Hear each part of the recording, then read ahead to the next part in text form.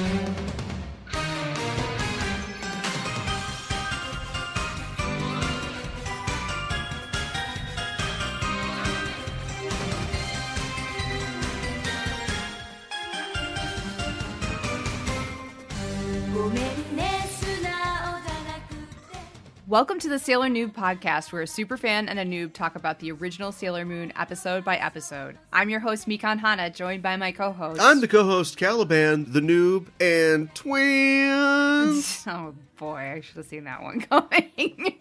We're a couple of magical people ready to moon crystal power make up this episode.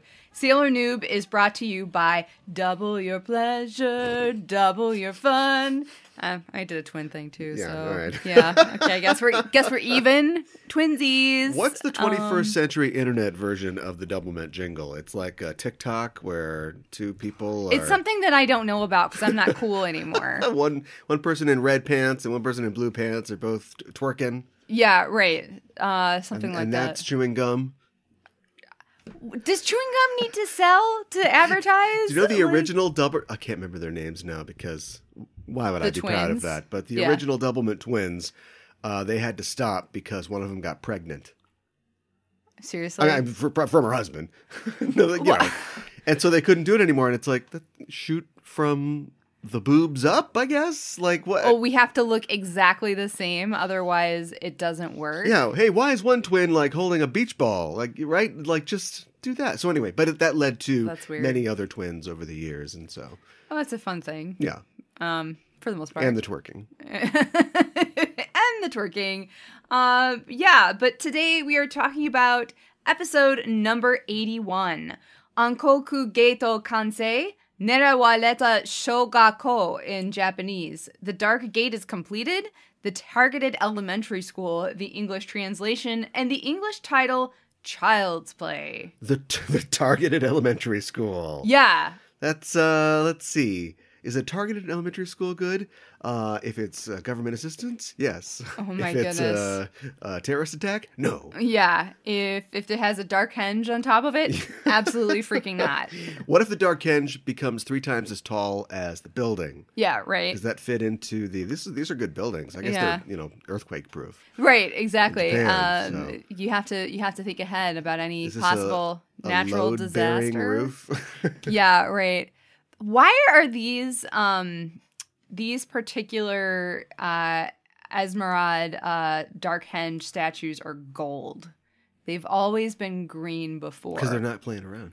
Is it because we're we're completing it? Not playing around anymore. We're not we're not playing around Game- and we're completing it. We'll yeah. talk about that in a bit. First, I want to talk about the surge of listeners that we have gotten recently Whoa. from the country of Germany.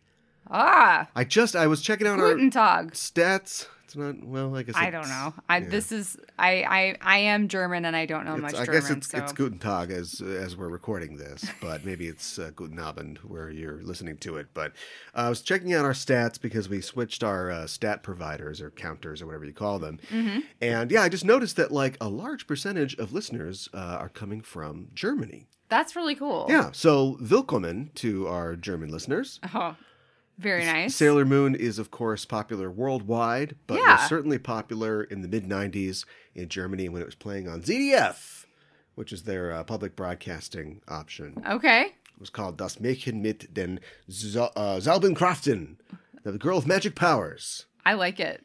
I, I think it's uh it's a snappy title. Yes. Yeah. Bunny and her friends were, as far as I know, like most of the names, I think, and everything was, um, you know, Uh-huh. Res- not translated. It was Oh. all uh, just localized, but uh, they did call Usagi Bunny. I mean, she's called Bunny in the first English translation um of the manga. Her her name is Bunny in that too. So, um I get it and that's what her name means. So, um I don't think it's it's that bad. So that's great. People all over the world, of course, love Sailor Moon, and we just want to say danke to our to our German listeners. Uh, we also want to say danke to our new patron. Yes. We have a new patron at the inner century level, uh, and you know, apologies. You know, this person signed up right before we went on break, so they Uh-huh. deserved this thanks for a while. But Ox has joined the show at the inner century level. Welcome, Ox, and thank you. Yeah, and uh, I hope you enjoy our Pretty Guardian Sailor Moon recaps. Yes. Where we talk about the fashion, food, and culture of the 2000s. So, so aughts. Just so, it's so naughties. So, so yeah, I know, right? As the kids Uh, say. the naughties. Yeah. Um, just, it's coming. You, you laugh, but the uh, the 2000s nostalgia is beginning to be strong. Well, it's about 20 years ago now, so which is hard to This believe. like middle period Britney Spears, uh huh. um, the apotheosis of the boy band era. Uh, emo was huge. Really, like that's when In- Sync was going from strength to strength. Uh huh. Uh, yeah, Yeah. that's true. Emo, Yep. um, uh, fashion. Question mark. it's I weird. don't know, It's- man. It's, weird to be nostalgic for something that you, you know, essentially just didn't know was happening when it was there, right? yeah, it is. But I, I don't know. I could see it. You know, I know this in the is '90s youth. we were like, "Oh, bell bottoms, so crazy," and I'm sure, like, you know, my parents were like, "Yeah, they're called pants." Yeah, right, right, right. I, I know. So I know. it's our turn. Yeah, right. Exactly. But anyway, um, there'll be some talk like that, but I promise not too much in our Patreon offerings. Uh, we, of course, have outtakes from the show yes. and our reviews of anime and of Pretty Guardian Sailor Moon. So if you want that, check us out at patreon.com forward slash Sailor Noob. All right. Without further ado, would you like to give us a breakdown of today's episode? Do you always say without further ado? I say it a lot. Oh, I guess I should have been not furthering ado, but I will try not to in this recap. A recap that I'm going to say is plotty. Yeah. There's there's some plot. We're moving things forward, Uh huh. moving the story forward. Yes. But there's some character stuff too. We open in school, in Chibiusa's new school. She's being introduced to her new classmates as Miss Usagi Tsukino, the transfer student. Mm-hmm. And right away, some dicky kid is like, Oh, wow, you're so tiny. I guess you're Chibiusa. yeah. Which I mean, he's not wrong. But uh, another kid, a girl, comes to Chibi's defense, saying to the kid, Why do you always come up with these things? They had a kid with a back brace the week before, I, I- guess. I have no idea. This guy has a history, I guess, of uh, picking on little little girls. Uh, anyway, uh, she whacks the kid over the head with a rolled up coloring book, let's say. Sure. It could have been a Vogue. I don't know. and the kid changes his tune and he says, How about Chibiusa chan? Uh huh. So she's okay with that. Yeah. That- It's as long as it's respectful. right. Exactly. How about Buttface Chan? yeah. And I, you know, just noticed that this girl. We'll probably talk about this in the fashion segment, but Mhm. she's got a um, a different kind of look. She's got uh, what looks to be like a, a traditional a cheongsam Mhm. uh, dress or or, or blouse. Yeah, or qipao, I think is another name for it. Yeah. yes, qipao, uh Uh-huh. and she's got the um, the oxhorn uh, braid thing, the Chun Li thing. Yes, Yeah. exactly. The the bun. Yep. hmm Interesting. Yeah. We transition from this scene, which uh, is presented with a very dreamlike quality, to Chibi in bed dreaming. yeah. with a little kitty paw holding a, a cloth to her forehead. Uh huh. Seems that Chibi is sick. There's a there's a bug going around, and the cats are taking care of her. I would want a nursemaid with opposable thumbs, but they are magical cats. so They are. Maybe they contribute something more. Chibi wakes up and she's feeling she's feeling better. She wonders if she can go back to school tomorrow. Luna's like, "Oh, you sure? Is school fun?" And Chibi says, "Yeah. There's this kid here. It sits next to me." And uh, but before she can finish, Usagi busts in and says, "Hey, what's up? Feeling better? Everyone's here to visit you." And yes, all the girls are here. Ami has brought Chibi some Dunkin' Donuts or something. We don't know. It's Yeah. a little box. And that's not all. Her friend is here too. Uh huh. Her name we learn is Momo, Uh huh. because Chibi screams it over and over as she dashes out of bed to meet her, knocking the cats aside. The two are having a real, real giggle fest, having a good time, overjoyed to see each other. Momo says that school is lonely without Chibi, and Chibi says, I'll be back tomorrow. And the girls, our girls, are watching this whole little uh, tete-a-tete, Yes. and they're happy that she's happy. Makoto says she must have been lonely coming from the future by herself. And Ami gets thoughtful, and she thinks, why is the enemy after Chibiusa anyway? And all the other girls stop short at this. They seem a little embarrassed that they don't know, and frankly, haven't thought much about it. I'm a little embarrassed for you. Remember them. that time we went into her brain? What was going on there? Yeah. Oh well. Oh, Beep. Dunkin' Donuts. Kids. That night in Juban Park, a dark henge appears, as does a mysterious figure. Mm-hmm. Now check this out. bunch of rock comes out of the ground, Mm-hmm. forms into like a pillar of rock. Yes. Then the rock turns to crystal. Uh huh. Then the earth cooled. Then the dinosaurs came. Then the crystal turns into a man. A Yeah. man with lavender hair. A crystal man. Apparently. He's got the uh, dark crystal earrings that signifies being in the Black Moon Clan. He does. And a loose fitting tank top with mint colored slacks. Mm-hmm. Has he been raiding Memorial's closet? Possibly. He has an inverted black moon on his forehead and a jewel around his neck. Mm-hmm. His skin is purplish, and his eyes flash red as he goes, "Ah!" And the dark henge crackles with power. Uh-huh. And as waves of the dark power wash over the foliage in the park, we see the trees and brush decay and wither. Wait a minute! They've been able to take plant energy this whole time? We have To never go seen vegan? that. Yeah. You know how much how much more flora biomass there is on Earth than fauna? It's like four to one. uh huh. There's like four times as many.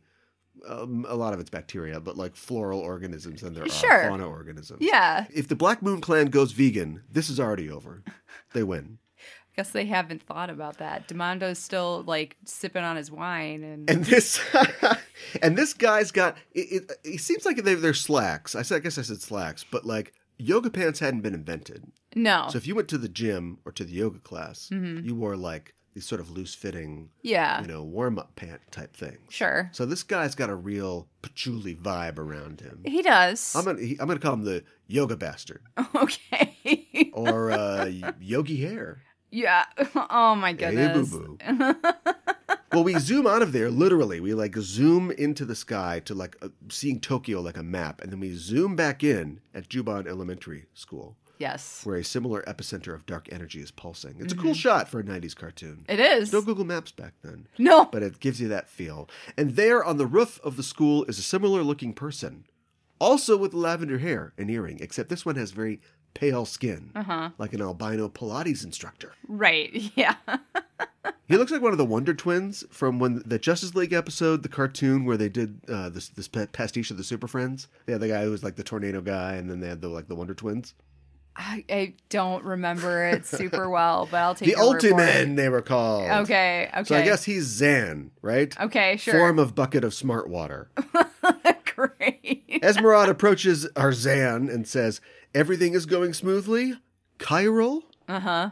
So this is Chiral is his name. Right. Right. Right. Right. Uh, in mathematics uh, or in um, chemistry, Mhm. organic chemistry, chirality is, is the property of something that is not identical to its mirror image. Right.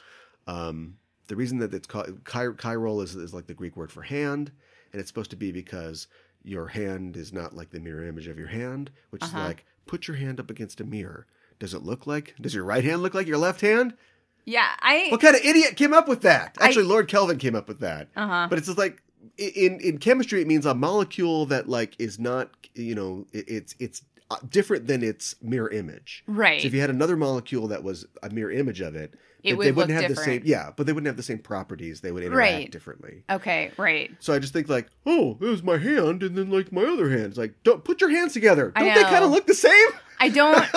I don't understand that unless, and and this might be completely off the deep end, but like, what if you like put your hands spread out in front of a mirror and you're like, oh, my right hand looks different than my left hand because my thumb's over here on this hand and But it's, it's over. right. But you can tell that like. Uh, poets and writers are different than like scientists because a scientist speaking, is yeah. like, oh, the mirror image. It's like, but a mirror image literally means. I know that it's like, oh, like I raise my left hand, they raise their right hand, but you Right. you invoked a mirror, and in a mirror, or if I put my hands together, I know. humans uh, humans and some other creatures have uh, bilateral symmetry Right. which means that our left side looks like our right side Right. now not all animals are like that definitely plants aren't like that there are some animals with uh, radial symmetry Mm-hmm. like a sea anemone Sure. um, but yeah the whole point is that our left side looks like our right side if everything's going well Right. so it's a weird thing to then take that term and go yeah that means that they don't look alike I know. It's obviously i've this has bugged me since college. It's- when, it- when it I is was a- studying science. But it is a weird thing to wrap your head around. So anyway, uh, she asks him, "How is achiral doing?" Achiral is the opposite of chiral in the Mm-hmm. science world, but also in the world of Sailor Moon. Yes. He says, "Pretty good. This is what I've been waiting for. This is it. Yeah. Esme with two dudes." Uh huh. Esme should have had a pair of Rip Yoga dudes as her hench boys since day one. She Yeah. is 100% that bitch. She is. I She- agree. She, says, no more screwing around. Mm-hmm. I got orange henges now. We're not going to be poisoning cakes or whatever. We're going to just get these big hinges. We get all the energy. We're done. We go home. yes. She says, You two, get rid of those pesky girls. And they disappear to do just that. Yes. The next day, Chibi is running to school. She's late. She got up late. Uh huh. Luna and Luna P are running or floating, I guess, with her. She gets to school and she hears some kind of ruckus in the schoolyard. She goes to see what it is. And what it is is a full on rumble. Yeah. You got kids kicking the crap out of other kids. They're pulling hairs, rolling around on the ground. Looks like Braveheart in short pants. Chibi's like, everybody's playing, but class has already started. And Luna's like, you you think this is playing? I am very disturbed. What are that- schools like in the future? I know. Like Chibiusa, this should not be a normal. This is weird. No child left without a black eye. Uh, just put a pin in that for now. Uh, they're fight. They're, they're fighting. Mm-hmm. Chibi sees that a huge kid, let's call him Trevor, has Momo-chan cornered against the wall of the school, and this kid, he is drawn huge. Yeah. he's essentially like adult proportions. Uh-huh. You know, but he has a, a huge kid head still. He looks like uh, you know if like MODOK was on the basketball team. yeah, pretty much. And he says to her, You're too uppity. And she says, Shut up! You're pissing me off! And she Yeah. goes uppity the side of his head with an Uh-huh. axe kick, Yes. sending him crashing to the ground. And he hits hard, like car alarms are going off. Chibi is like stunned at this display of prowess, but Momo is like, You want to fight too? and her eyes grow red. Don't be so familiar with me, because I hate you. Yeah. What? Chibi's like, What? What is this? I know. Wrong question, Cheebs, because it's sweep the leg, Johnny! and Chibi goes down. Momo runs off laughing, and Luna wonders, like, what the hell is going on? Yeah, seriously. No more monster energy drink I know. for, for morning snack. She gets her answer as a blast of energy radiates out from the rooftop of the school. Mm-hmm. But Artemis says, it's the light of dark power. And Luna says, what did you get here? I was so happy that she that was her reaction She's- because I was thinking the same dang thing. She's so spooked, her moon flies off of her head and I didn't notice that. Yeah. That's great. I love it. We there's a there's a couple there's a lot of Looney Tune stuff in this. There's we'll get to it some like jump scares and spooky stuff. We see inside the school and it is trashed. A million students with a million cloths couldn't put this back together again. no. And the windows are broken. There's crap all over the walls. On the blackboard, somebody has drawn what looks like an angry face and an explosion. Yeah. and I Chibi know. looks forlornly at her ruined classroom, but no time for tears because Chibi is immediately attacked by Momo at the mm-hmm. head of a group of students and their teacher. So Mm-hmm. Yeah. Mm-hmm. this is not kid related. This is not the the fire of youth. We are young. This Yeah. is not hormones. The teacher is involved. The teacher is wielding a T square like an axe. Yeah. Momo charges at Chibi with a broom handle, and Chibi dodges frantically. Mm-hmm. They chase her through the halls of the school, and we pan up to the roof to see Chiral observing it all menacingly. Chibi ducks into a classroom to avoid the mob. She runs into Artie and Luna. I guess it's a science classroom because they're hiding behind an anatomical dummy. Yeah. And as they come out, it moves a little bit and it scares Chibi. Uh huh. That's a good bet. Yeah. Just wait. Before she can catch up with the cats, the silhouette of Momo appears in the window and she throws back the door looking for Chibi. No one is there. Momo leaves and Chibi and the cats come out of hiding. Artie is sure that it's another plot by Esme. Luna tells him to get the sailor soldiers and tells Chibi that they're leaving. Chibi refuses, saying she's scared, but she won't abandon Momo.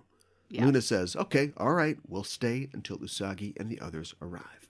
At Juban Jr., Artie has told Ami, Usagi, and Mako the situation, and Ami gets a wrist call from Minako saying there's an incident at Juban Park. Yes. They're like, no, don't split the party. What do we do? Yeah. They decide that Ami and Mako will go to the park, and Usagi will save Chibi. Mm-hmm. All three girls transform, our first pre eye catch transformation in a while. Yes. This is early.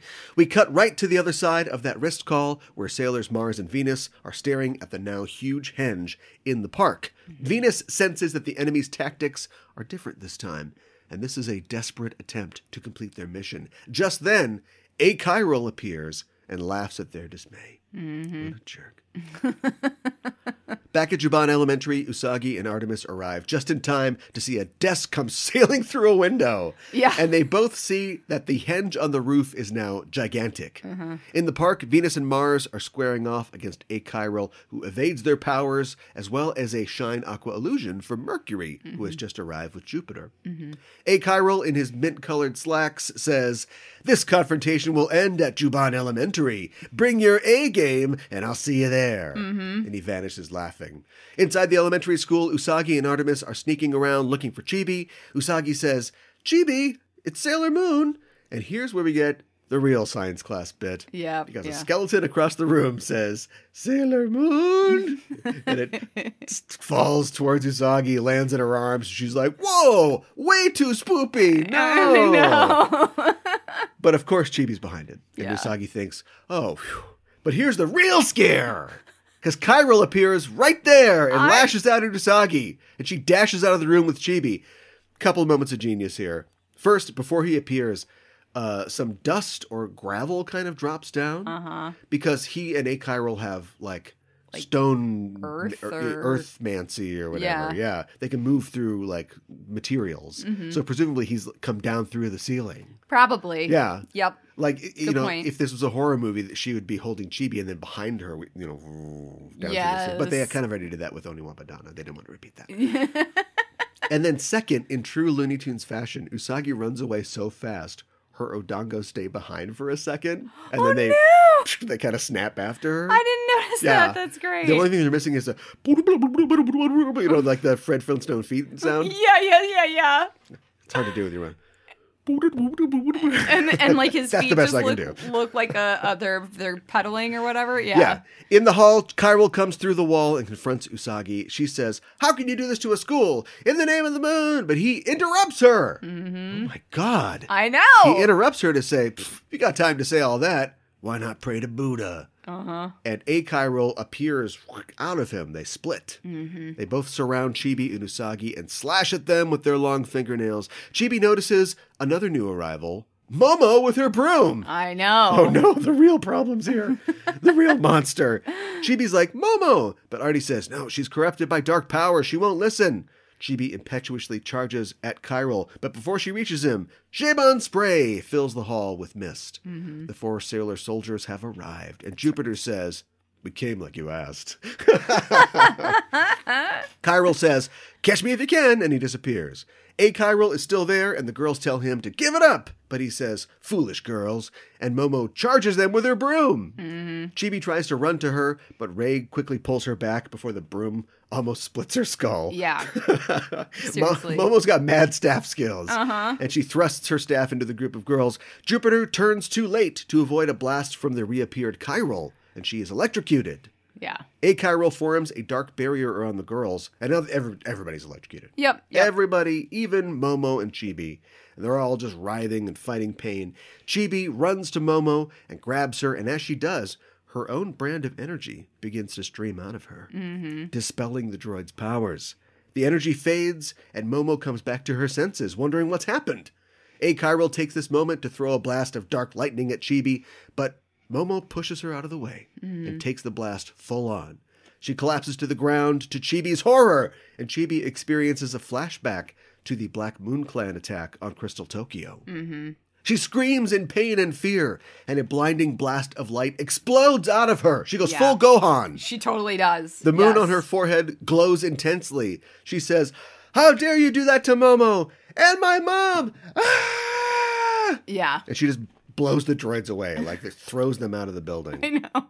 In the future, we see a dark mass of crystals that begin to glow intensely. Mm-hmm. And we see both Creepy Wise Guy mm-hmm. and Prince Demando go, Huh? Nani? Yeah. Right. The Sailor Scouts are terrified at what's happening, but Chibi's light starts to fade and she collapses.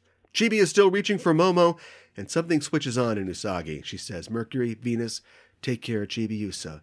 We'll take care of those 2 Mm-hmm. Back in the future, Wise Guy and Demando are looking at the crystals that I mentioned before. I don't know if I've seen these. It look, they look like a big flower or a tree, yeah. maybe? I think It's it's it's unclear, but it kind of seems like it's somehow it was caused by Chibiusa somehow. Mm. I, I don't know, and and it's unclear to me if it's in in the future with them or if they see it in the past. Mm, that'd be weird. You you think? I don't know why that would be, but it could be. I don't, don't know. I'm a noob. but at this, wise guy said, "It'd be a waste of power to kill the rabbit. Mm-hmm. We should have that power for ourselves." Mm-hmm. And behind a pillar, Saphir is just creeping. He does not approve. That's what I'm taking from Interesting. Back in the past, Sailor Moon challenges the droids to come out, and they do, out of the ground, right behind the girls. Mm-hmm. Yeah. You saw them do that before. But Yeah. anyway, they're caught off guard, but before the droids can strike, a red rose sinks itself into the concrete of the schoolyard. Mm-hmm. Tuxedo Mask has arrived. They get me every time with these. I know what's going to happen. I know. And and they keep you know varying like the sequence of events and and you you Which think is great. I mean, he's not mentioned the whole show, and you think, oh, maybe he's not going to be on this one. And then you get the girls that, oh, dun, dun, dun, dun, dun, dun, Yeah. dun. they're going to, oh, let's get him. And it's like, oh, no. And then Yes. Tuxedo Mask is here. in this case, he's up on top of the spherical jungle gym. I love this And entrance he's timed his so much. He's timed his throw, or maybe I don't know. It just worked out okay, so that it's spinning, and he spins to face them as he speaks. Oh my god. He says, turning a school into a battlefield is an outrage. Sailor Moon, teach them the ABCs of justice. Yeah. Sailor Moon begins a Moon Princess halation, but the droids begin to sink into the ground to protect themselves. And that is Mm-hmm. when Sailor Jupiter does a sparkling wide pressure and literally plows a line through the concrete and Yep. earth into them, I love it. electrocuting the droids and leaving them vulnerable. There's your A game! Yeah. Yeah. Yeah. That's how you use your powers, you know, and you you you think about what can I do in this fight, And you know? she doesn't do anything up to that point. No. She even gets like kind of like bitch slapped by one of them. Yeah. And they're just saving it for like, I wish that she'd just blown him up completely. Like, I'll handle this one, Sailor Moon. Don't worry about it. I kind of wish but that she they would contributes. I, I know, and I do. I, I get that. I wish that the Senshi kind of like finish the bad guys more often. Um, it, but it, you know, more often than not, it is Sailor Moon. But While Moon finishes the MPH, the droids are no more. Both henges explode, and the threat is past. Esmeralda appears, furious. She's so Mm-hmm. Yeah. mad that she snaps her fan in two. I know, you know, she's pissed. Although it looks like one of those like cheap fans you can just get at a at a store, curio store. really, you think Esme would be caught? Oh, you with think a it's cheap Ivory? fan? well, I don't know about that. she says, I'll kill you myself. And she rears back to blast them, but she gets a brain call from the future. yeah, Will you accept the charges? yeah, Demando says, Wait, our objectives have changed. Come back to the future. Mm-hmm. Esme tells the girls, Don't be smug. You haven't won.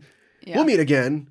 And she disappears laughing. We cut to a hospital where Momo is being cared for. She seems in good spirits, and it's implied she'll be okay. yeah, Later, Chibi looks at the setting sun from the roof of either her school or maybe the hospital. I'm not yeah. sure. Some building. and she tells her assembled friends, I'm going to the future to save my mom. Please, everyone, come with me. Yeah, Mamoru tells her, Let's all go together. yeah. And the girls are like, Oh, thanks for speaking for us. Yeah, I guess we'll go. We'll do it too. Uh huh. Because this won't end until we go to the future. Yes. And Usagi says, We're doing it for Chibiusa. Uh huh. And Chibi thinks, Mom, I'll save you no matter what. Yes.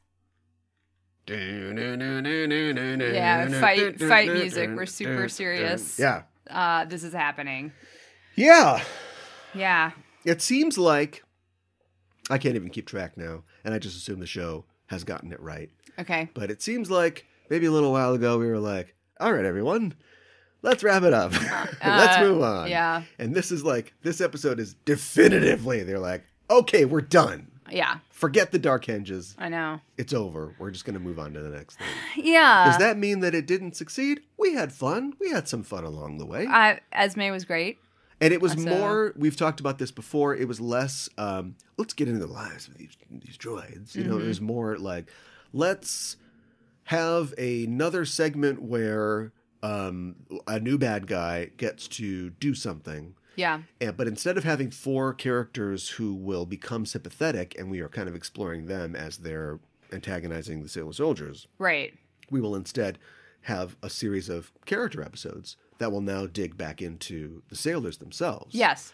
and develop them a little more and then the the meta plot or the the ongoing thing becomes a little less important Yeah. I I think And so I'm a little more appreciative of the fact that I was kind of focusing, you know, I talked about it being plotty. I was folk I was expecting it to be more plotty when Mm-hmm. it didn't really matter. Like we had, you know, an episode for pretty much every sailor to get their little where are we at now? Yeah, for for the most part. Although I think you mentioned on a previous... And they don't take out, you know, it's not a Rubeus situation. They don't take Esme out. We're going to see her again. Mm-hmm. She was just there to sort of facilitate the girls developing their characters more. And now Right. we're going to move to a new location. Right, but I think you you mentioned in a previous episode it's been a while since we've seen got a, a Mako episode. I think the last time was um They got to A- come up with some new boyfriend or yeah, well, twist or something. uh, or some other sport she's good at, um, or other activity. Fill in the blank. you guys know about uh, this field hockey? Yeah, right. It's amazing. Um, but yeah, the last one was like with Alan on when she gave the blood transfusion to to her friend to, to friend, friend, zone. friend zone John. Friend zone Chan. Yeah. Uh, so it has been a while, but yeah, there there is some great character episodes in this. I I, don't, I really enjoy the Black Moon Clan as far as bad guys go. Um, overall, um, you know, and I think their their game is strong, or at least I enjoy watching them.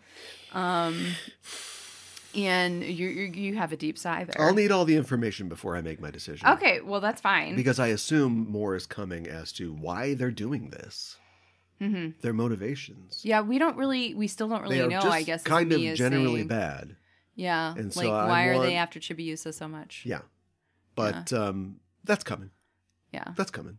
I mean, we they have said that the silver Imperium crystal they need to destroy it because, or the silver crystal they need to destroy it because otherwise the black crystal won't be as powerful. Do you mean the evil black crystal? Yes, the evil black crystal. Right. Yeah. Get it right. Okay. Sorry. Um. So Chibiusa seems like she gets sick a lot, but maybe that's just because Uh, she's a is- kid. Yeah. And then also we had A Minako run being a of- nurse. yeah. And, This is. I feel like this is. She wasn't sick then, yeah. and maybe it just caught up to her. But she was sick when they went into her head. Well, that, That, was she was- dream episode. Yeah. Yeah. Hmm. That was like a heart sickness, though. You know I mean? Yeah, That was like I a know. malaise. Yeah. I don't think it was like a Like she had a cold. pathogen. Yeah, I suppose you're don't know, right. maybe her emotions are connected to her health, like a like a Tolkien elf. Oh boy. She can have the sick, the sadness unto death. Yeah. I I don't know. I feel like they also did something else they haven't really made clear is like she's tried so many times to go back to the future and she was told by Poo-chan, who we later found out was Pluto, um that she she couldn't come back yet, but we didn't really get a good reason as to why. And like You've now got, now we got she another has eight episodes we're contracted for. I know, but she now she has powers that she didn't know she had and nobody else knew she had and now she's like uh I got this and and now it's going to work. So like why is it like you know, why is it different? And I think that the manga did I won't get into it, but I think that the manga did a better job of setting up those parameters. Of course, it's it's shorter and everything too. I did want to mention that you know, so the Black Moon Clan they in the in the manga they they all have kind of like basically one confrontation with the the Senshi and then they're gone, um, and that's just because it's shorter. And when Esme fights them, um, she has uh, Chiral and Achiral are in the manga. They are there. So um, I just think that that is interesting. But you were picking up on like this is who she is. This is who she should have been all along. It would have been different if she had these two henchmen with her, and maybe a, a weekly droid as well. I don't know. Maybe it's too too uh, Too many Queen characters? Beryl. Yeah, maybe. Yeah, um, I um, I don't have a problem with it. I, I you know, I think it's there's a there's a well, there's a long-standing just storytelling you know convention, but Mhm. definitely an anime one of a character having powers or abilities, needing to um, to master them or simply grow into them. And you know, Chibi's very early in her life's journey I here, know. so you know it. It's interesting that they her powers have sort of manifested or expressed themselves previously through um, her being uh, emotionally distraught, you know, or Afraid. sort of uh, in danger, Yeah. afraid. And this is more, you know, just she's just angry, basically. like she's just mad. She's just indignant. I mean, it really is like I always thought it was kind of weird that it's like. oh yeah, you know the anger of a Saiyan is is their true power. When you make a, a Saiyan mad, oh boy. And um, I, I I never knew how I felt about that.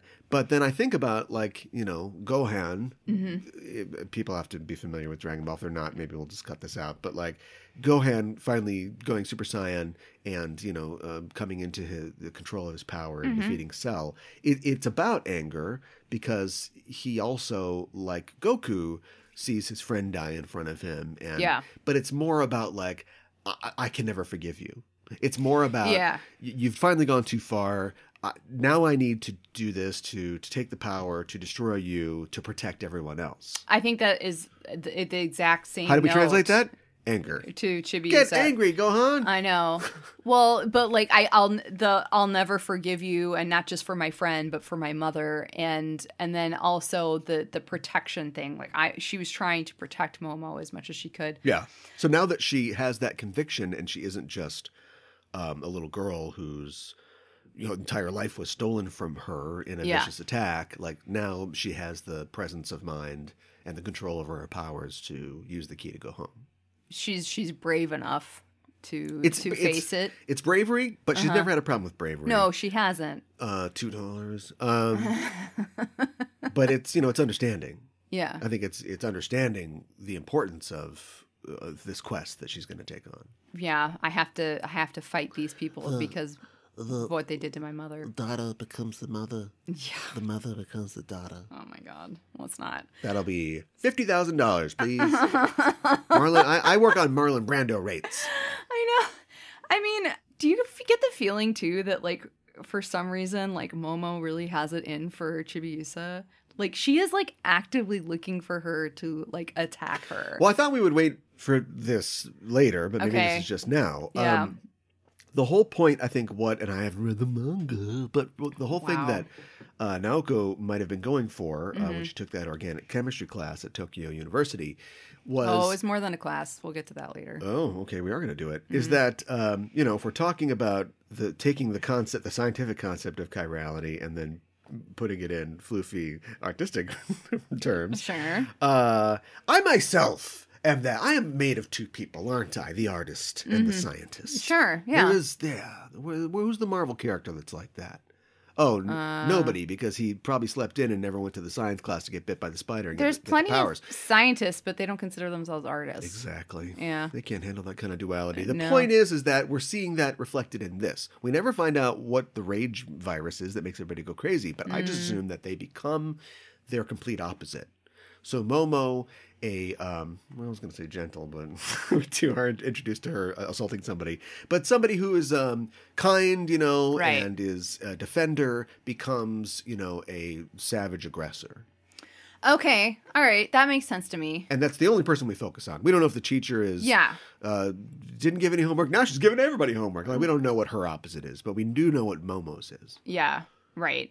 Do you think that maybe a part of that too is like their feelings become the opposite of their feelings? Like because she feels like this strong connection with Chibiusa and she really cares about You her don't now. know me. Now she like hates her and can't stand her. yeah, Yeah. I think that goes with what I said. Yeah. Yeah. Okay. All right, great. All right. Good. We're in, we're in agreement. then. All done. Goodbye. Oh my goodness.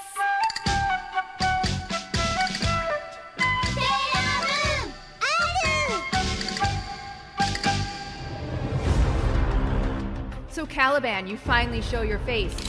Just in time for me to blow it off. It's fitting you chose to hide in this abandoned movie theater, Mika and Hana, because for you, the show's over. Big talk, but soon you'll be as dead as all the well-loved celebrities we lost this year. When I'm done, they'll be cleaning you off the walls like COVID 19. Wait, where's your face mask? I, th- I thought we were going to fight outside. Oh, come on! I mean, if the, if the murder hornets aren't out there still. Take this. If you want to watch HBO Max on my phone, I'll start cooking some beans in this old boot. Just Enough Trope. News, reviews, and apocalyptic views every Monday on the Just Enough Trope Network. won't the 5G kill us? For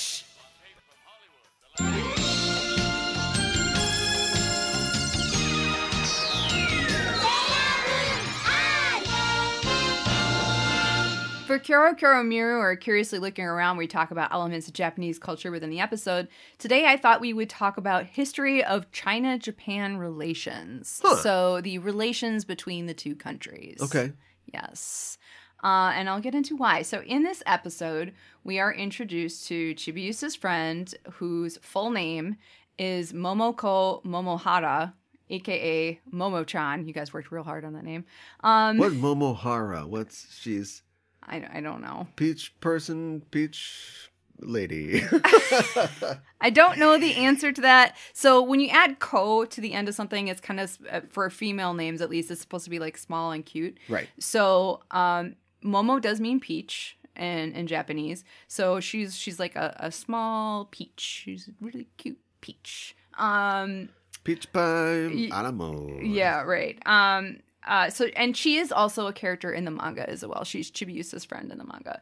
Um, in this episode, she wears uh, a red qipao. Um, and in the manga, Momo's family ran, and she has the um, the oxhorn um, hairstyle with the little bun um, on the top of her head. niújiǎotóu. Is is that the is that the the oxbow name? That is the name of Okay. the oxhorn style. Oxhorn style. It means literally hornhead in Chinese. Well, there we go. We got horn head Their- now their to version go with of the bun head. Yeah. yeah. right. Exactly. I well, I think, I think the the oxhorn style probably came first. And actually, It's their version, and it's, it's their I I know. ripoff of. No. Okay. Okay. Fair enough. Um. Uh. I've read something that Naoko Takeuchi actually used to wear her hair in the odango style, and that's kind of you're rolling your eyes.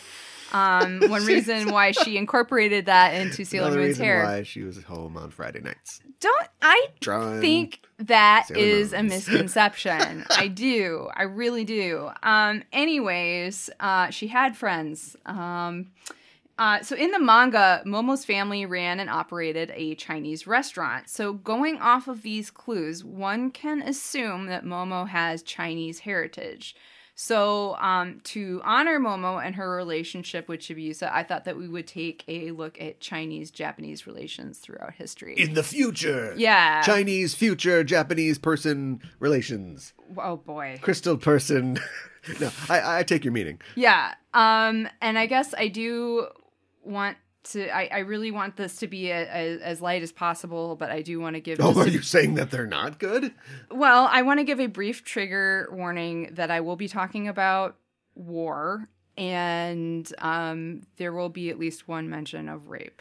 Um so this will be abbreviated, of course, because China and Japan have a very long, complicated history with each other. So I'm gonna just kind of try to pick out a couple of things that I, I feel like have colored their relationship overall, if that makes sense. Uh-huh. so the the first mention of Japan was in the Chinese historic text uh, Book of Later Han in the year 57 AD. So that's how far back this goes, uh, in which it was noted that the emperor of the Han dynasty gave a golden seal to Wa, which is the which is the Right. wow, which Seal. is the oldest, yeah, not that kind of seal, like uh, which is the oldest name of the islands of Japan in foreign writing. Wa, Wow. um, and it was frequently uh, so Wa was frequently written in Chinese and Korean text with the Chinese character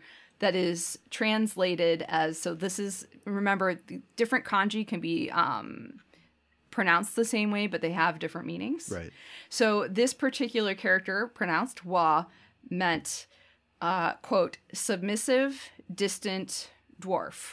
Huh. Uh, and until the the eighth century, when the Japanese replaced the character, so they're like, mm, we don't we don't really like that meaning. Um, also pronounced Wa, uh, that is translated as harmony, peace, balance. Oh, okay. So I mean, much more positive. Yeah, it's always nice. Like, no, it's but fast. It, it, means a respected person. Uh huh. Not Right. face. Yeah, r- yeah, right, right, right. it's like maybe we could choose our name that you are referring to us as. That'd be cool. Um, so, but I, I mean, I think it's important that it, that doesn't mean that that's when Japan's history started. Right. You know, Right. like there were people in Japan most likely before that, and I think we've talked maybe a little bit, but uh, during the uh, Jomon period, they're largely farmers. Um, but uh, you know, we'll get to this later. But before Japan met China, they and actually several hundred years into their relationship, they didn't have they did not have a writing system, and they developed their because you know Japanese writing, the kanji is is taken from Chinese writing. They derived their their writing system from them.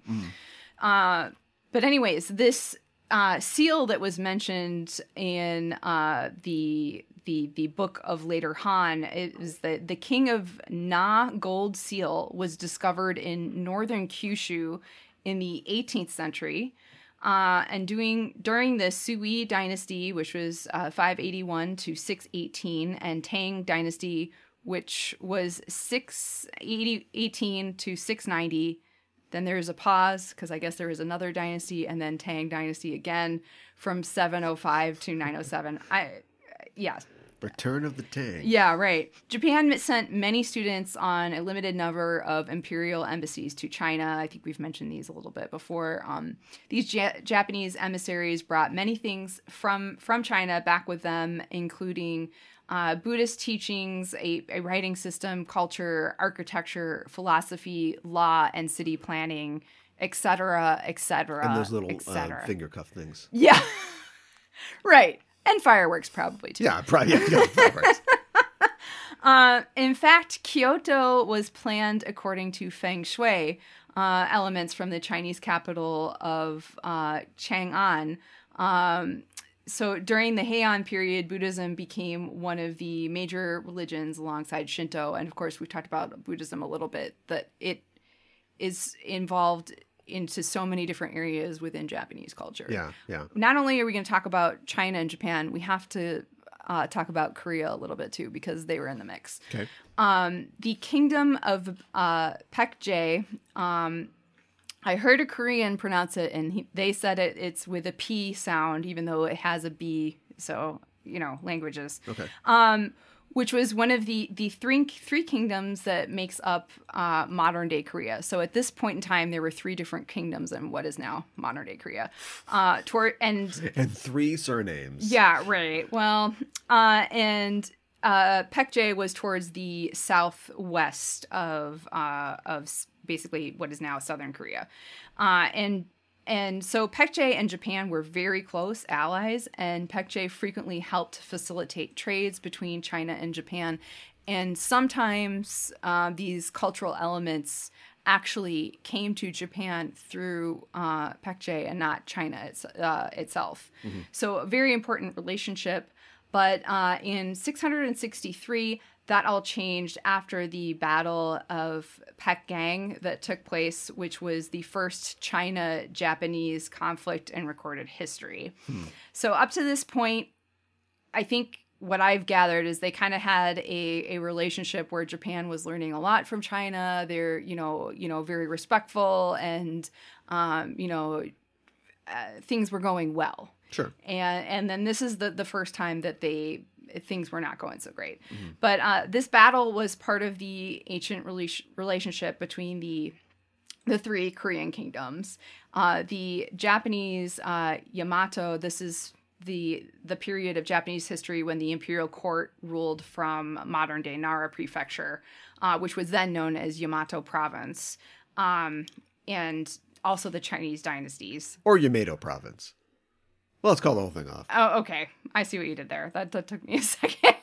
Sorry. Um, so yeah, the the background of the battle involves Shilla, one of the other Korean kingdoms, trying to dominate the Korean peninsula by making an alliance with the Tang dynasty, who were trying to defeat uh, Goguryeo, which was the, the third kingdom, uh, which was an ongoing conflict that that dated back to the Sui dynasty. And at the time, uh, Goguryeo was allied to Pekje. That's a lot. Um, so the battle itself was a horrible defeat for the Yamato forces or the forces of Japan. About 300 Yamato vessels were destroyed by a combined Shilla Tang fleet of about half the number of those ships. So the aid that uh, to Pekje from Yamato could not help on land because they were defeated at sea. Thanks, guys. Yep. Uh, and Pekje fell shortly thereafter by the end of the same year that the battle took place. So that was pretty devastating. Take a vacation to Korea have some laughs. yeah, I know, right? Um, and once Pekje was defeated, both Shilla and Tang focused on the more difficult opponent of Goguryeo, and Goguryeo fell in 668 AD, so only a couple years later. And for the most part, Shilla uh, because they were rivals with Pekje, who were allies with Yamato Japan. They, you know, Japan was like kind of like afraid of them, and were like, oh, they they were kind of hostile towards Yamato, so they were like, oh crap. So Due to the scale of the severity of their defeat, the Yamato court feared an invasion from either or both Tang or Shilla. So, in response, they built a huge network of shore fortifications, so like these shore fortresses and walls and stuff like that, Sure. um, throughout the rest of the 600s. And in 664, the Yamato court established frontier guards and signal fires in Tsushima Island, Iki Island, and northern Kyushu.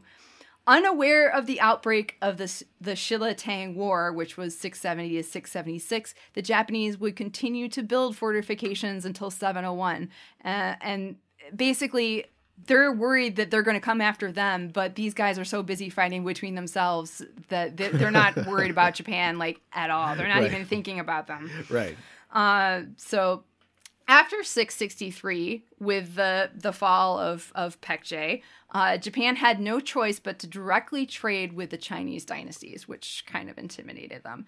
Uh, at first, the Japanese had little long range seafaring ex- expertise of, of their own, but eventually, and some, I guess, historians have suggested, uh, with the aid of uh, uh, Pekje expatriates who fled the country when it fell, uh, the Japanese improved their naval prowess as well as the construction of their ships.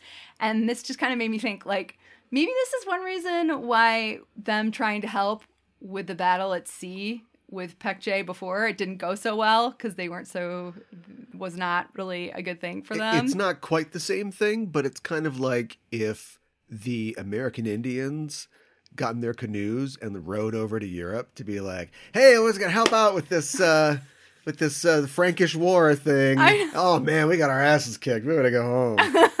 and then later, like the Franks are like, "Oh, let's give you some more, give you some ships and stuff like that." You know, what I mean, like they were the Japanese are like relatively isolated. yes, And they're just that's something kinda- we have to keep in mind. they're not really sharing in on all the you know the wonders of the continent and the Chinese dynasties and stuff like that. But then they're like, "Hey, what's going on? Let's get let's get involved in this thing." I know. Oh wow, that was a bad idea. I'm getting the crap out of here.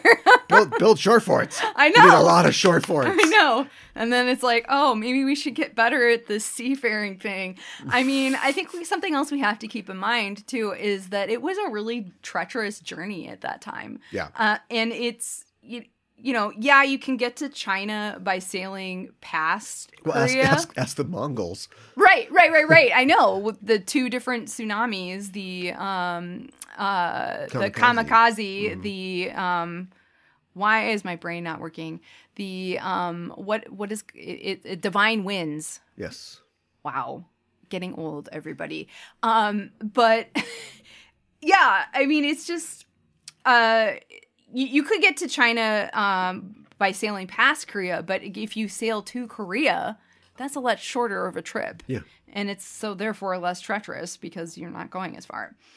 The next point of interest is uh, Toyotomi Hideyoshi was one of the three great unifiers of Japan during the late Sengoku period, which was 1467 to 1615, which is also kind of known as like the Warring States period. This was Of a really, Japan, yeah. a tumultuous time uh, during J- Japan, even though he, uh, Hideyoshi did a lot to kind of unify the country, not necessarily positive, but anyways.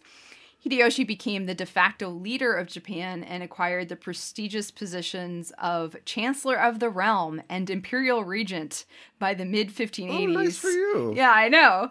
Um, after subduing the Mori and Shimazu clans, Hideyoshi had the dream of eventually conquering China, but needed to cross through Korea first. Yeah, problem. When Hideyoshi received refusals to his demands by Korea to cross the country to Ming Dynasty China, he invaded Korea. Uh, in the first year of the invasion in 1592, the Japanese reached as far as uh, Manchuria under Kato Kiyomasa and fought the Jianzhou Jurchens.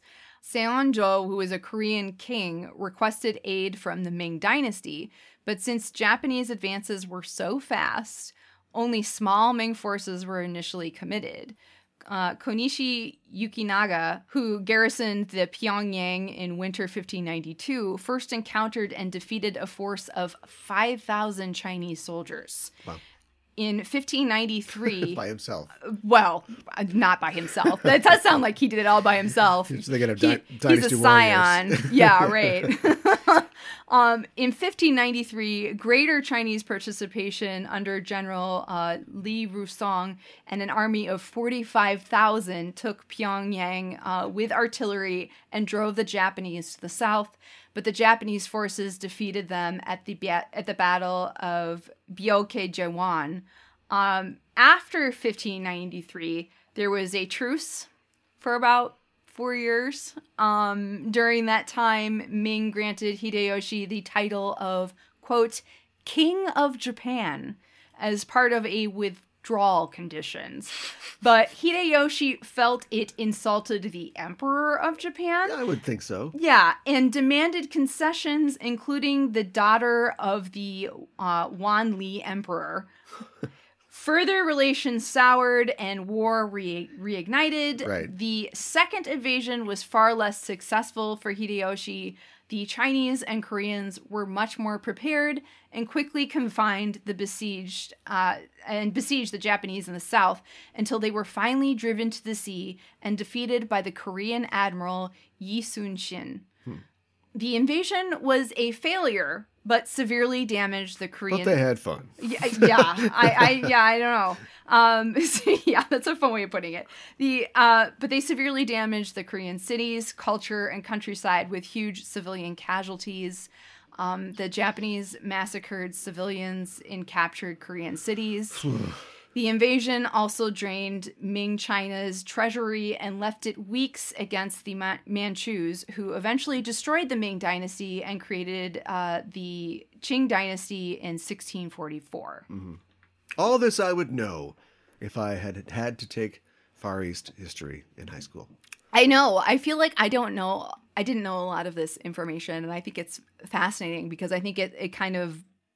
And there's more that I'm not talking about. Sure. Let me emphasize that because, like I said, this is hundreds and hundreds of years of history. Sure. But these are just a few things that I feel like have shaped their relationships overall. Like these are like Japan's like, hmm, China looks pretty good. I mean, like, look, their first conflict, they were really injured and they were scared and they were, you know, they they they they were like, okay, we're gonna refortify our our shores and all that.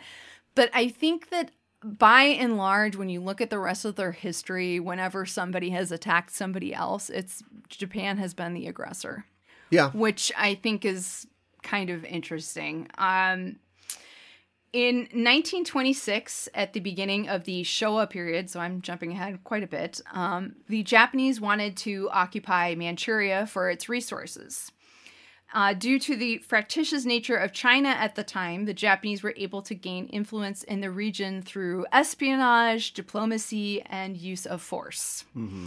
In 1928, the Japanese assassinated uh, Zhang Zuolin, the Chinese warlord who controlled Manchuria. And the Japanese army in 1931 staged the Mukden incident, using it as a justification for the full scale invasion of Manchuria and establishment of a puppet state, Manchukuo. And I think mm-hmm. we've talked about this just briefly before. Yeah.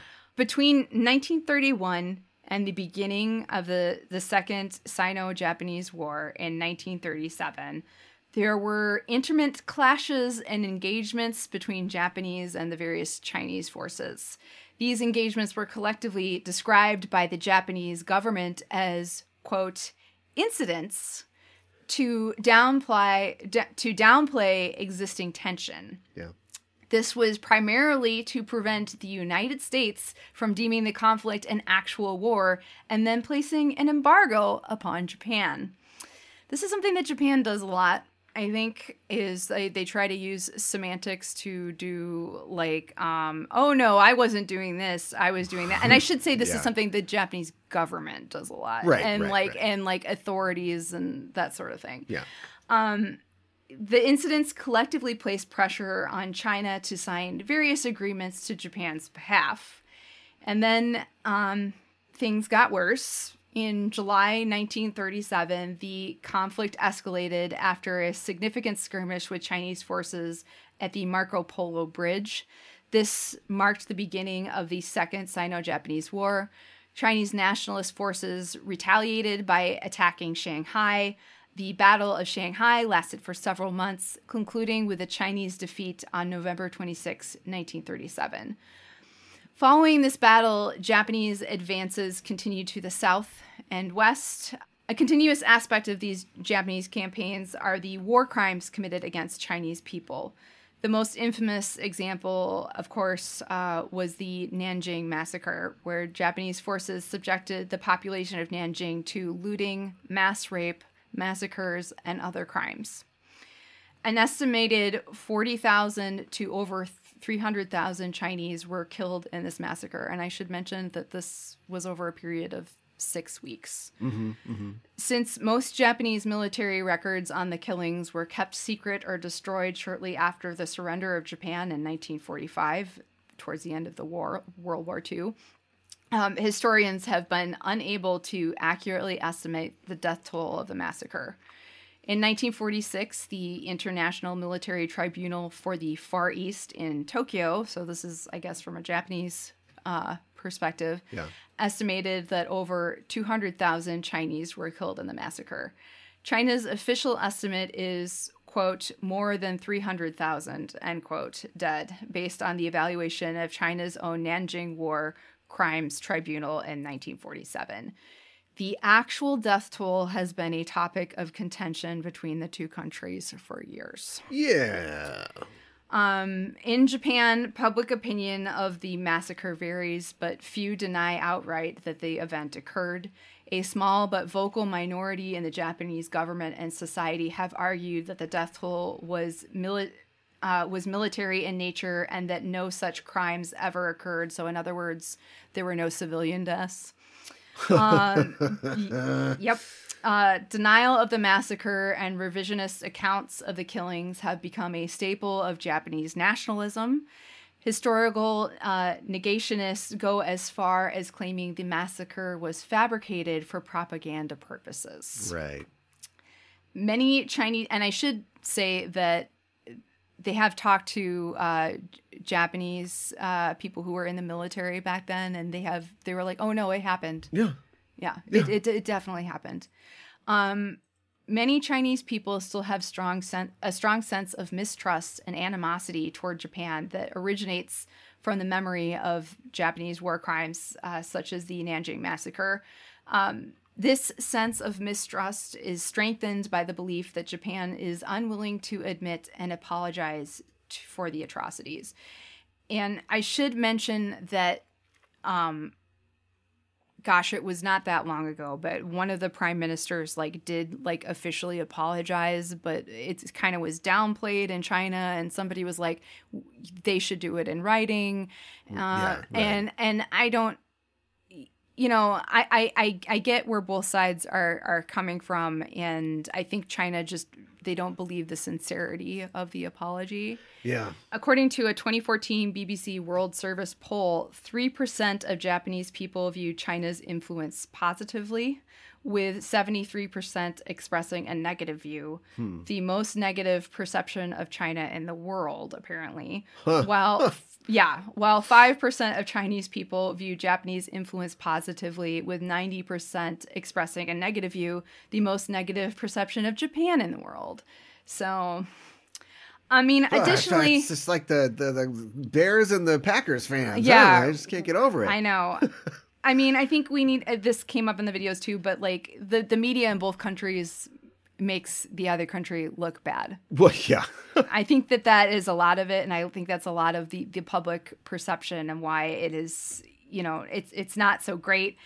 And I did w- just want to mention this just because I think I was just kind of blown away by this, but um, China has many anti-Japan or anti-Japanese war dramas, which, although frequently ridiculous.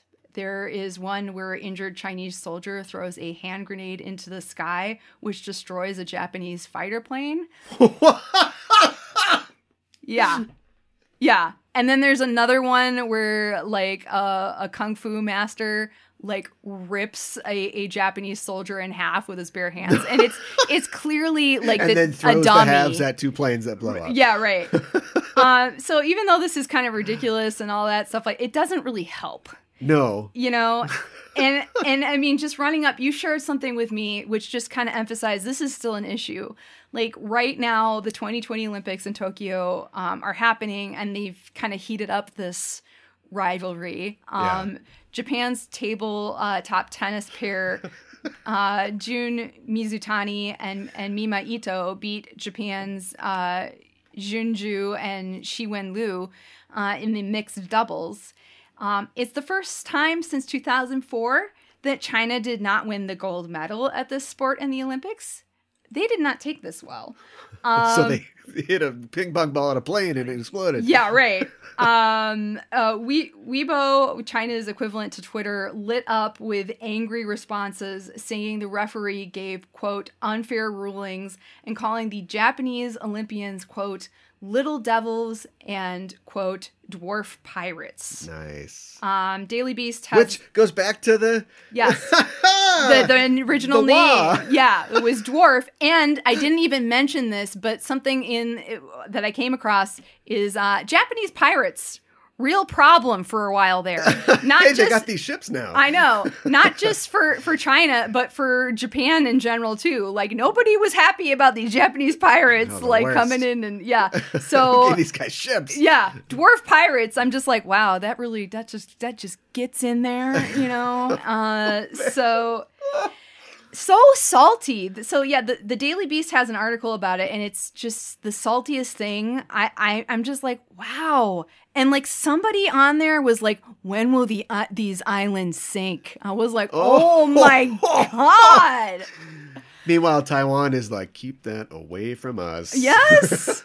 I, I did want to do a very brief language spotlight. Um, the the Japanese term for best friend is shinyu, um, and they they do um, use that when they're talking about uh, Momo-chan and Chibiusa. Oh, okay. um, and the term for for friend is uh, tomodachi, which can also be used for um, you know more than one friend. So you can, it's very casual, but you can call your friend who you're really close with, you can call them Tomo. Like, you know, the Japanese love shortening words. Um, and you could also, I, I mean, it, it more or less means this. So Tomo is like friend, but if you want it to be pal, buddy, bro, you can take the second half of Tomodachi and be like Dachi. Oh. That's my Dachi. That's my But, Dachi. Uh, but that's like uh, sometimes that's like what's in anime and manga, and I don't know how frequently people actually use it. Well, you yeah. know what I mean. Um, so there's that. Itadakimasu with Usagi. What did Usagi eat in this episode? Well, Ami has something for Chibiusa, which is probably some food, maybe some donuts. We don't know. We but we never get to find out what it is. Um, it does. It's definitely a food container. I, I just it's maybe it's like a sweet. I mean, I just have no idea. Um, what Yeah, it could be. Come on, show.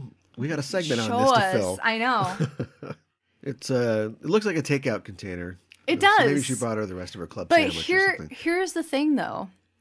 They don't do um like like when you go to a restaurant in Japan, They don't have doggy bags. they don't have doggy bags.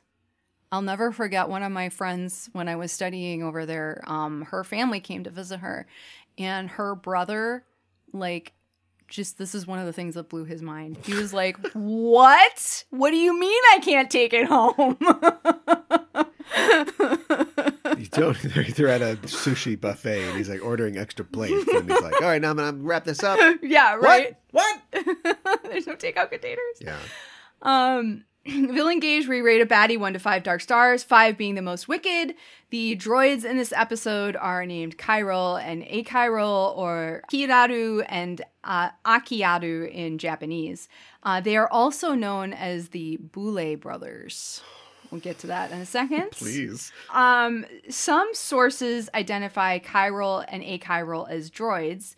However, Chiral and Achiral are different from the droids that we've previously seen. Um, with the so I think you can make an argument that maybe they aren't. Um, with the upside down black crescent moon on their foreheads, they're more cl- closely resemble the the Black Moon Clan, and you talked about that previously. Right. Um, they also die differently than the previous droids have. Instead of crumbling into particles, they explode. Huh. Um, also, the previous droids have been female and attacked on their own, while Chiral and I- Achiral are male and attack together. Well, that explains a lot then, because yeah, maybe they're not droids. I'm kind of thinking they're not. They have, but they have gems, but they're not attached to their bodies. Like they're a necklace Yeah. that has a gem on it. Yeah. You know, so maybe they're like subservient in some ways. And we don't. the- I don't. We don't get the scene where the you know the gem powers down or, or whatever, right? No. Yeah. So, huh? Well, then It's- why it's a little give 'em the- different. why give them the gems then? I think it's confusing, but a lot of sources will be like, yeah, these are the droids for this episode. Yeah. So um, I think there's well, a we want to come out and say that we don't know. yeah, I right. want to say exactly. definitively, I have no idea. I am not calling I calling do not know what this is. Um, so for their name, I mean, we've basically covered it, but um, chiral is a scientific word referring to an item that cannot be overlaid or superimposed on its mirror image. Yeah. Uh, an object which is non-chiral is called achiral. So also the twins are known as the Boule brothers collectively. A boule is a single crystal ingot produced by synthetic means. Sure. Yes. Okay. Look it up on Wikipedia. I mean, it's also the name of um, some bread. It's spelled the same way. Some bread. bread. yeah. Uh, and some other things. Um, I found something that I was like, oh, I don't know how I feel about that, but apparently it can be a slang term for for butt. So I don't know how I feel about that. Where? I don't know. I was just like boule meaning, and there, and I found uh, it might have been like some street slang. I don't know. I've heard a lot of interesting things here, but uh, are you sure it's not boule? I think you're right. Because boule is is French for a bread, like a like a round bread. Because Yeah. boule like means ball. yeah, I thought you were like boule, like boule boule. I apologize. I was looking up how to. Oh my gosh! I I try to look up words to see how they're pronounced, and I I didn't think The internet will literally pronounce them for you. I Alright, know. but in fandom, maybe they're called they're called Boule brothers. I- that definitely sounds better than the Boule brothers. Yeah, maybe we'll just call them the Boule brothers. Um, but yeah. Anyways, uh, I like that. Let, let's let's go with that. Um, have we talked about on the show before how Naoko Takeuchi has a degree in chemistry and she became a licensed pharmacist before she was a I don't think that we have. yeah, So I'm gonna give her a pass on the uh, chirality thing, but I uh, think that she was like, hmm, chemistry. I need some bad guys. She definitely knows more than uh, than Hideo Kojima does, who is must have read a book about chemistry because the last couple of his games have been about chirality. Oh my And, uh, they talk really? about it in uh, Metal Gear Solid, and then okay. uh, the the walking one, Death Stranding, is all about that. There's the the chiral network, Oh wow. and uh, yeah, it's all about uh, Interesting. building bridges. So yeah, in chemistry, chi- chirality usually refers to to molecules. I think you talked about that. Like two mirror images of a chiral molecule are called uh, enantiomers or optical isomers. Um, pairs of en- enantiomers are often designated as right or left-handed, or if they have no bias, um, achiral. So this is the the the hand thing again, Right. where, you know, essentially Yeah, Um, so i mean i just i think it's interesting I, and i'm kind of wondering too like do you are- they saying like that they're twins? Are they saying that they're twins. Yeah. Are they are they connect there's there's one scene where I think it's like Chiral is talking to them and then all of a sudden a Chiral like comes out of him. Like are are they saying they're they're they're connected or they're this they're the you know they're they're two beings. Well, But are didn't. also she didn't write this. not not this, but it, Right, they so are in whatever- the manga, but they're different in the manga. So, anyways, So whatever you know they were meant to be, that's that's not what they are in this. This is a this is a different idea. fair. I think they're just you know they're just a, a, a team up. They're a duo, Okay, and they All kind right. of reflect each other, and I think but not exactly okay, because one guy has white skin and the other guy has purple skin. yeah, Good right. dodge there, and Right. then um, they have different kinds of uh, warm up pants. They they do actually. We'll get This is a into the. show. I know. We'll get into the the hair and everything too. Can we do it soon? Yeah, like right now. Yeah. I mean, so basically, um, Ky- uh, they they have very similar looks. Um, Chiral has fair skin, red eyes, and I think he has long light blue hair. While Oh, boy, Chiral let's not do has yeah dark complexion, blue eyes, and long light purple hair. Chiral wears a bluish purple tank top, matching shoes, and light pants, whi- while Chiral has a white tank top, matching shoes, and blue or uh, aqua pants. Right. Um, they both have the upside down black crescent moon on their foreheads, the evil dark crystal earrings, and orange jewels that they wore as necklaces that have the black crescent moon on them. Um, they get some good lines in there too. I think they're they're both pretty snarky and mean. Um, um, and, and like basically like a Chiral says, I will send you to hell, so come prepared. Um, which is just like okay. Um, and then of course the line that you talked about with uh, Chiral, if you have time to say all that nonsense, should you not spend spend it praying to Buddha? Basically, like. Pro- I'm I'm about to kill you, so you should get your prayers in. Right, Right, now. which kind of like I mean, it's just a th- convention. taunt. It's just a trope of the show that she gets to say all this stuff, you Mm-hmm. know. And but the fact that he doesn't sit still for it, you know, I think reinforces the idea that they are not um, droids exactly. yeah, right. Because if she They're doing something different. Because if she just started to yell something, you know, uh, th- fur is murder, uh, Esmeralda, and you should, you know, and then she's like, all right, shut up, shut up. Right, right, right, right. Exactly. flat chested nobody shut up like she'd just you know break in like they're a little above the droids I think you're right. Yeah. Um, so now we're up to our rating. I like how evil they are and how they work together to fight. I also enjoy how catty and confident they are. Um, maybe I'm just feeling generous today, or maybe it's because they are also in the manga. But I I like these guys. I, I think even though it's simplistic and everything, um, they got style. I like that they're working with Esme. So I'm gonna give them four out of five dark stars. yeah i'm feeling pretty generous four yeah. out of a possible five Yeah. well unfortunately i'm giving them a four as well although i was really close to five Okay. Yeah. because they fit all those criteria They that do. I that I talk about, uh, and they interrupt Sailor Moon she's doing her thing. Um, they don't interrupt a man though when he's talking.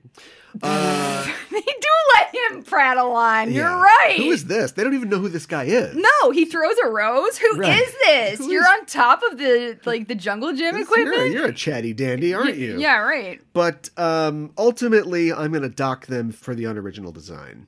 Yeah, it's very simple. And Yeah. I mean, to be fair, that's And you'd basically how they were drawn. You don't want to get well. Okay, I guess that's I can't fault that. So I'm going to dock Naoko Takeuchi a point here. Because we've had twin bad uh-huh. guys before, and they've had like more interesting costumes, and these guys are, you know, I like everything about them. I just wish that they had like, you know, the girls have to wear Aeon Flux stuff. Why do these guys show up in their like workout clothes? Yeah, well, like, what are we trying to say? Yeah. Unless they really are like evil yoga instructors. right. Well, I like I like that idea uh, of an evil yoga instructor. I think it's entertaining, especially in the world of Sailor Moon. You're gonna be so relaxed and flexible and evil. Uh, Yeah, right. Better We're gonna misalign your chakras. Ooh. Check this out. So four from me. Um, for Sabu or Dabu, where you talk about the most interesting differences between the sub and the dub. In the DiC dub, the droids or Black Moon clan members, Achiral and Chiral, were renamed Doom and Gloom. Okay, Yeah, that works. yeah. I mean, like It's not exciting, but mean and Gene. This is Gene. I had to be mean. they they wanted it to rhyme. They needed right? two negative sounding words that Yeah. uh, you know. Uh, I can't. mad and sad. Oh, there you go. No, I, that doesn't really No, work. It's doom and gloom. Doom and gloom. So okay. I thumbs up to that. All right. Um, I've got a couple of trivia for you for this episode as well. The other classmate of Chibiusa's who we see at, for the first time in this anime, uh, in this episode, is named Kyusuke Sarashina. Uh, and like Momo, he appeared in the manga as well. This is the kid who decides that she's going to be Chibiusa. Sure. Yeah, the, the, Kyusuke. the dirt, the jerk. Yeah, Yeah, the jerk. Kyusuke. Um, and I should mention, so they they give them more color and they get more air um, airtime. They get more character time in the manga. Sure. And one thing that I really like about Kyusuke when he's first introduced, he apparently is a big Sailor V fan. And he has like a Sailor V pin that he wears on his shirt. Wait a minute. We've seen this. Remember the episode where was it sail was it Ami? There was a, there's a little girl, or maybe it was just Sailor Moon, the the daycare one, where there's a girl getting picked on, and she's That's like, Sailor Venus. She had a Sailor Moon uh, thing on her jacket. "Oh, I thought that the the boy had a was a Sailor V fan, but no, she was a Sailor Moon fan." I think they became Sailor V fans afterwards, but I can't remember if like Right after um, they're saved from yeah. uh, from the bus crash or whatever. right, right, and then like something happens in the manga, and then the button on the end of that issue is like now he's got a Sailor Moon pin. So Oh, okay. yeah, uh, it's cute. Right. I think it's fun. Okay. Right. Um, Oh, yeah, there you go. Yeah. So this episode shares its name with a horror movie and apparently also an episode of Yu-Gi-Oh. So Child's Play. Oh, yeah. Child's play. Yeah, yeah. We we won't get into that again. It's just you know, I, I I that's what I think of it's of. an expression. I know it's an expression. That's just where my brain goes. So I'm like, what? I just get I see Chucky's ugly mug and I'm like, no. so, anyways, now we're up to where we rate the episode. Um, I love that we get to see and meet Chibiusa's friend Mo- Momo-chan and how sweet they are with each other. Um, I I love how even though Chibiusa is really scared, she refuses to leave Momo alone in the state that she was in. Uh, this kid is just so brave. I, I love it. And we get to see that apparently Chibiusa has a lot of power and it isn't just a powerful cry. Um, Right. It's a little bit of a tease for the next episode, but it does get you pumped. And I do think it's like super plotty. Uh, but I was just like, as I was thinking about it and thinking about all the things that I liked about it, I was like, okay, but overall, I enjoyed it. So I'm going to give it four out of five roses. Okay. Um, I'm gonna go to five. Wow. Uh, you know, I think that it's I think it's a strong episode, and Yes. you know, plotty is not bad necessarily, Not especially when it's kind of moving us out of this lacuna Mm. in the ongoing story. Uh huh. Um, I, you know, Chibi's uh, bravery, uh, you know, is on display. Yes. Um, most, uh, uh, you know, well, there's a great Jupiter moment, but Yes. uh, there's a great Sailor Moon, uh, Moon moment as well. Good bad guys. Um, Great entrance from Tuxedo Mask. well, yeah, of course. there's also like there's a lot of um, creative staging uh, in Yeah. the animation. I thought um, you've got some some good cross cutting going on. Um, you know, yeah, good good uh, droid slash bad guy. Mm-hmm. Um, the an escalation of the Looney Tunes. of stuff, Yes! which I don't I don't know if it's good for like the realism or the. Uh, uh, the verisimilitude of the story, but you know, I appreciate it. Cartoons. Do do dumb stuff with them. You know, it's Play with it. Have fun. But yeah. I'm satisfied by the whole thing. I, I couldn't give it any less than five. okay. Very good. It's a little predictable, but very satisfying. Yeah. And and I kind of like felt like at the end, you know, I felt I felt a little bit like the last couple of episodes like I'm really like when are they going to go to the future? When are we going to get to the fireworks factory? So um but I'm excited that it's actually happening. So so my English title is Chibiusa's friendship never let you go. Let you go. I could I couldn't resist. brings up a whole nother written by a Japanese author. illusion. Yeah. Yeah, But yeah. Uh, we'll pass that by. Okay. Uh, my dig title is it's not even a dig title, but uh, my title for this episode is Me and Momo Down by the Schoolyard. I like it. It's a- it's a song. 70s light rock yes. or folk rock. Next episode, we are talking about episode number 82. Mirai Hei no Tabidachi, Jiku Kairo no Tatakai in Japanese. Journey to the Future, Battle in the Space Time Corridor, the English translation, and the English title, Future Shocked. Okay. Yeah, Why shocked? I don't know. You could just say future shock. Better. That's You fixed it. Future shock is well, well that's a tease for next time. Mm. Oh, Well, you'll probably tell us what it is, but in case you miss it, I'll tell you what that's a reference to on the next episode. ooh, a little tease. And here's something else for next time. Uh, we don't talk about this very often, but every once in a while we do. Uh, we could use reviews. You know, Yes, if you're on please. your if you're on your you're on your platform of choice, and it happens to be Apple Podcasts or it's always going to be iTunes, isn't it? yeah. Um, leave us a review, would you? Just uh, click over there. You know, click on the five star, uh, and then just say, "Hey, it's a good job." I mean, you can mm-hmm. give it, you can rate it and give us five stars, but it counts more, or it, it goes up on the board basically if you just say If you something write something. nice, you know, or, Yeah. or something that matches your review. I can't hold a gun to your head and tell you to give us it's five stars. Maybe if you think it's like three stars, just think that in your head. But anyway, uh, that that helps, and it doesn't matter what platform that you're listening to us on. I know we're on a bunch of different platforms, Yeah. but yeah, I mean, if you're anywhere except listening just on the web, uh, just write a little something. Yeah. we'd appreciate it, We'd and really we'll uh, we'll call it out on the show. But yeah, that, appreciate that. Well, that's our show for this week, and the name of the moon will be punishing you next week with another episode of Sailor Noob. It's too spoopy.